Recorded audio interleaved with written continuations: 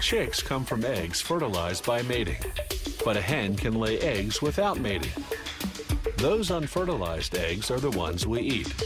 The fertilized ones go to the hatchery three or four days after being laid. Hatchery workers transfer the eggs onto special trolleys, then roll them into the incubator, where the temperature and humidity level mimic natural conditions. The egg yolk, egg white, and shell all nourish the embryo. Every hour, the trays shift 45 degrees to the opposite side and back, simulating the way hens turn their eggs while waiting for them to hatch. After 18 and a half days, the eggs come out of incubation and go onto a conveyor belt. They pass under an infrared sensor that checks for eggs that are too transparent. These are unfertilized eggs that slip through. The sensor triggers a suction device to remove them. They go to a rendering plant to become animal feed. The fertilized eggs continue along to the next station to be vaccinated against Marek, a poultry disease. Automated needles pierce a hole in each shell and inject the vaccine into the amniotic fluid surrounding the chick.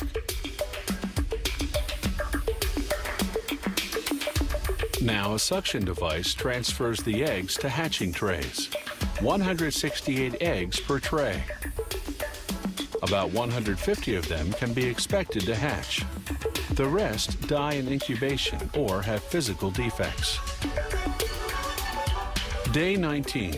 The chicks use their beaks to crack a hole through the shell, then a horizontal line all around. After six to eight hours, the chicks finally emerge from the shell. They're covered in short feathers called down, and they're able to walk and see. After about four hours, their down has dried.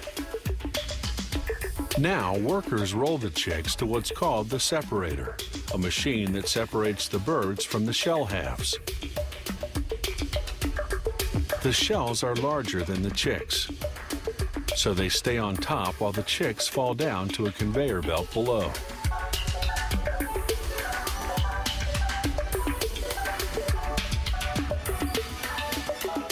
The shells, which are high in calcium, go to a rendering plant.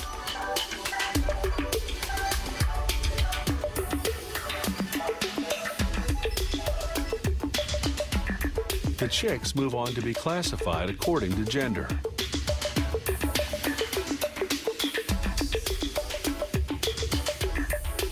Workers put the females down one chute, the males down another. They determine the sex by checking two rows of feathers. If one row is shorter than the other, the chick's a female. If the rows are the same height, it's a male.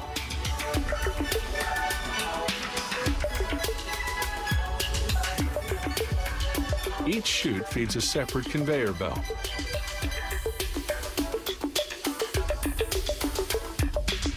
An optical counter tracks the number of males and females.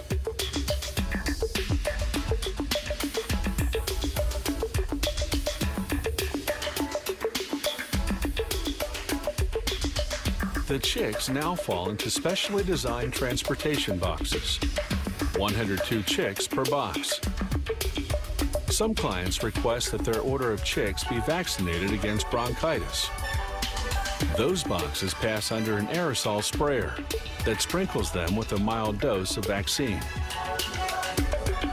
Poultry farmers raise chicks for their meat or eggs.